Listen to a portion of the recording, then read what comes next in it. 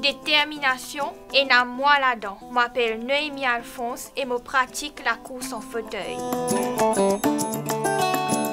Moi, moi, j'ai une malformation depuis ma naissance.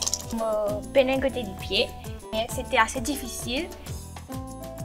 À l'âge de 19 ans, je rencontré Jean-Marie et c'est à partir de là qu'il m'a commencé la course en fauteuil. Je représente Maurice à plusieurs compétitions internationales, notamment deux plus grandes compétitions qu'il m'a fait, c'était les championnats du monde l'année dernière et les Jeux du Commonwealth cette année-ci. Détermination et n'a moi là-dedans. Toi, qui est là dans toi? Viens passe message, sur page Facebook Made in Maurice.